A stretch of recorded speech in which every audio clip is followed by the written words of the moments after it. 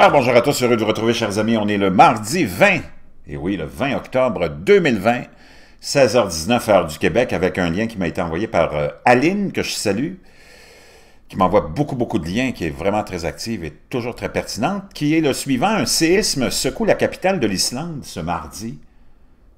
Imaginez-vous, comme si c'était pas assez, les premiers témoignages font état en plus d'une forte secousse qui aurait duré entre 4 et 5 secondes selon les premiers éléments dévoilés par les autorités. C'est un séisme de magnitude 5.7 qui a frappé la région de Reykjavik ce mardi 20 octobre. Premier gros tremblement de terre de ma vie, j'ai flippé, nous dit Hugo Mercier. L'épicentre est ici.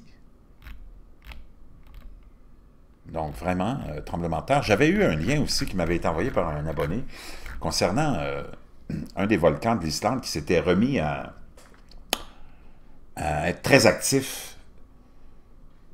Puis on se demandait ce que c'était pour donner... Euh, je vais essayer de retrouver ce lien-là tout à l'heure, puis je vous le partagerai. Donc, un séisme qui secoue la capitale, ça nous vient de l'indépendant, le lien. La capitale de l'Islande, ce mardi.